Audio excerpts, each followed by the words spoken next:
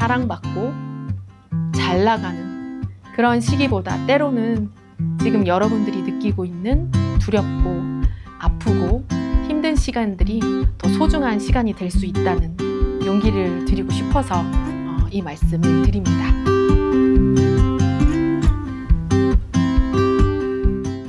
안녕하세요. 영채마을 식구 여러분. 영채마을 스텝 김영이라고 합니다. 오늘 제가 여러분하고 나누고 싶은 이야기는요. 자신의 열등이와 약자 마음을 어떻게 받아들일 것인가와 관련된 부분입니다.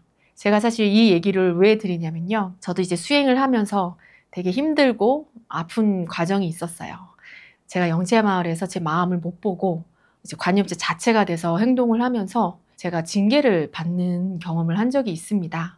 제가 잘한 거는 아니지만 그 과정을 거치면서 진심으로 깨닫게 된 게 한 가지 있어요. 제가 수행을 처음 시작할 때는요, 제 마음을 본다고 하면서 열등이 다 버리고, 두려움 다 버리고, 수치 다 버리고, 제가 저를 바꾸려고 이걸 했다는 걸 알게 됐어요. 그러니까 진짜 김영희의 마음을 있는 그대로 인정하는 게 아니라 잘나지고 싶고, 뽐내고 싶고, 우월해지고 싶고, 다 갖고 싶고 제가 그런 가해자로 수행을 한다는 걸 알게 됐습니다. 그러면서 제가 스스로 그걸 알아차리지 못하니까 저한테 이제 징계라는 벌이 오는 상황이 발생을 했었는데요. 어, 그 당시에는 마스터라는 호칭이 있었어요. 그 마스터를 저희가 하고 있었는데 징계를 받으면서 당연히 이제 직원으로 내려오게 됐고요. 화장실 청소, 네, 주방에서 설거지, 기타 허드렛 일이라고 하는 것들만 이제 전담을 하게 됐습니다. 그리고 아침부터 새벽 늦게까지 일하고 삼천배도 하고 이러면서 되게 약자가 되는 그런 일들을 경험을 했었습니다. 그러다 보니까요. 제가 그동안 열등하지 않은 척, 잘난 척하고 그리고 수치스럽지 않은 척 했던 제 수치스러운 마음들, 그 모든 마음들이 다 올라올 수밖에 없는 상황이 됐어요. 더 이상 가식을 쓸 수도 없고 이제 숨길 수도 없고 그렇게 되니까 제가 포기하게 됐어요. 스스로 내려놓을 수 있었으면 참 좋았겠지만 그렇지 못하고 징계를 받으면서 제 집착이나 뺏는 가해자를 마음으로 인정하고 내려놓을 수밖에 없는 상황이 된 거죠. 그러면서 받아들일 수밖에 없는 상황이 됐어요. 이렇게 내 마음 안에는 여자로 사랑받는 게 아니라 버림받고 그리고 비참하고 어, 천한 그런 내 여자 마음이 있다는 거를 보고 인정할 수밖에 없는 시간들이 이제 왔습니다. 그리고 나서요, 한참 이제 몇 개월 후에 거의 1년 정도죠. 그 시기를 겪으면서 제가 징계 마지막 즈음에는요, 저도 사실은 되게 신기했어요.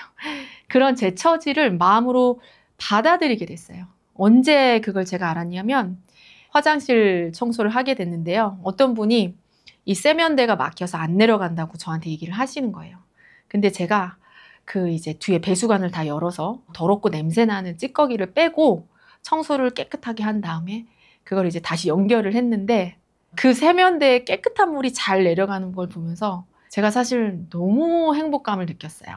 그거는 제가 누구한테 사랑받거나 인정받거나 이랬을 때와는 또 다른 차원의 행복감이었거든요.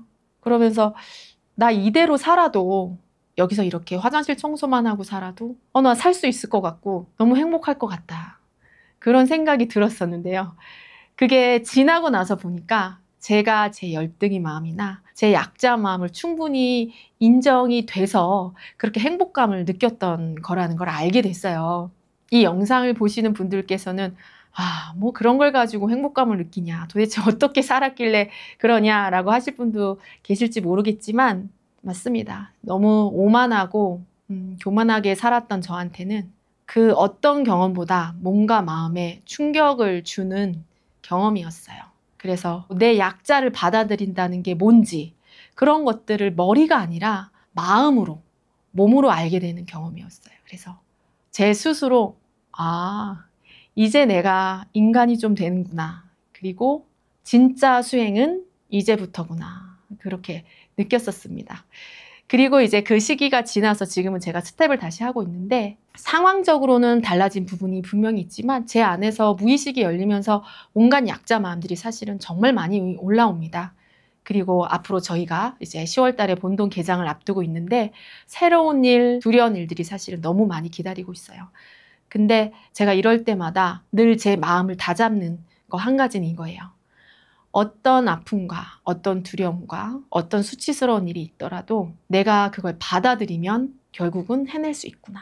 그리고 받아들이면 과정은 아플지 모르지만 내가 더 성장할 수 있고 어, 남들을 더 이해할 수 있고 내가 가해했던 부분에 대해서 참회하고 더 나은 인간이 될 수 있구나. 어, 그런 깨달음을 제가 다시 되새기곤 합니다. 어, 이 말씀을 드리는 이유는요, 수행을 하시면서 너무 힘들고 아팠던 일 때문에 괴로워하시는 분들이 계시다면 용기를 내셔서 그 열등이와 약자 마음을 직면하시고 느끼고 버티시다 보면 좋은 결말을 맞을 수 있다는 거. 그 얘기를 제 경험을 통해서 좀 드리고 싶어서 어, 이 자리에 나왔습니다. 사랑받고 잘 나가는 그런 시기보다 때로는 지금 여러분들이 느끼고 있는 두렵고 아프고 힘든 시간들이 더 소중한 시간이 될 수 있다는 용기를 드리고 싶어서 어, 이 말씀을 드립니다. 영세마